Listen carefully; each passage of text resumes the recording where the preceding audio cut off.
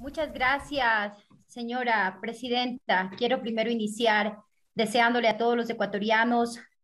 un esperanzador 2022, también que podamos tener seguridad, empleo, salud y educación pública de calidad, que en estos tiempos de crisis y de incertidumbres tengamos resistencia, fuerza, resiliencia, unidad para lograr salir adelante y hacer un llamado también al gobierno nacional para que articule e implemente políticas públicas que protejan y den dignidad a los ecuatorianos. Entrando en materia, la salud es un derecho humano y sin embargo millones de personas de nuestro país no tienen acceso a una atención sanitaria plena ni las condiciones sociales para una vida saludable. Y es muy duro ver la realidad del panorama ecuatoriano, que demuestra que este gobierno le sigue dando la espalda a los ciudadanos y es que al ver las noticias de los despidos al personal de salud, iniciando con inestabilidad laboral el 2022 en medio de un repunte de contagios debido a las aglomeraciones y reuniones por las festividades, y que como regalo de Navidad el presidente Guillermo Lazo despide a cientos de trabajadores de la salud y de otros sectores que incluso por mensajes de WhatsApp les notificaron que ya no se renovarán sus contratos y ese es el drama que atraviesan quienes prestan sus servicios al IES, al Ministerio de Salud Pública, y que mientras el presidente Guillermo Lazo ofreció en campaña garantizar una excelente seguridad social a los ecuatorianos, hoy hace todo lo contrario y termina incumpliendo con sus propuestas de campaña.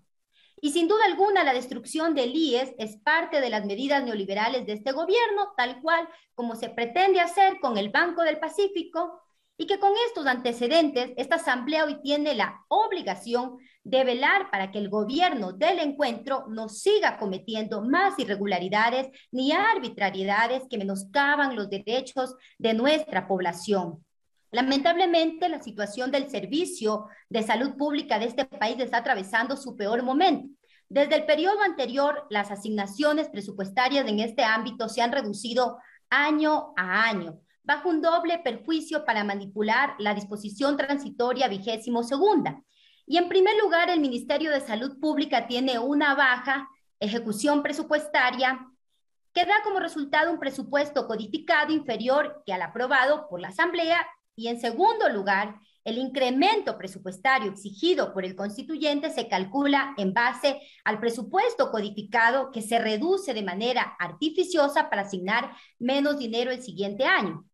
Y ese actual negligente en los centros de salud y hospitales a cargo del MCP también se repite en la seguridad social bajo el argumento del déficit actuarial. Se empiezan a recortar las prestaciones del seguro de salud, lo que implica que los centros de salud y hospitales del IES dejen de cumplir con sus funciones. Y en el caso de mi provincia de Santo Domingo de los Áchilas, a la que orgullosamente represento, en el hospital del IES, de acuerdo a varias visitas que hemos realizado, hemos podido constatar que existe falta de medicamentos del cuadro básico e insumos y que desde el 2022 el hospital no adquiere ningún equipo nuevo y que además de esto, la mayoría de equipos ya han cumplido su vida útil. No están operativas las salas de cirugía y existe falta de personal pero además encontraron problemas específicos como que la máquina de rayos X no está operativa y no existen recursos para su reparación y que el sistema de aire acondicionado no funciona y el contrato para el mantenimiento concluyó sin que se tengan los recursos para renovarlo. Y que además de eso, quienes prestan también los servicios de las dializadoras también se encuentran en lo cual es un atentado contra la vida de las personas que sufren enfermedades renales crónicas que son grupos prioritarios. Por ello, no debe sorprender los retrasos que se tienen con los prestadores de salud privada que garantizan que los afiliados y pensionistas puedan acceder a servicios cuando la capacidad del IES se encuentra rebasada o no cuenta con estos servicios. Como asamblea, recalco, no podemos permitir que el IES no cumpla con sus responsabilidades, mucho más cuando nuestra constitución obliga a que el Estado financie la seguridad social independientemente de los aportes mensuales de los trabajadores y de los empleadores, según el artículo 371 de la constitución. Es hora que la Asamblea Nacional exija que la salud deje de ser considerada un privilegio y sea tratada como un derecho indispensable para el bienestar de los trabajadores, pero también para el desarrollo económico de nuestro país. No obstante, Quiero pedir que también dentro de esta comparecencia se incluya a la ministra de Salud, pues la falta de pago a los prestadores de salud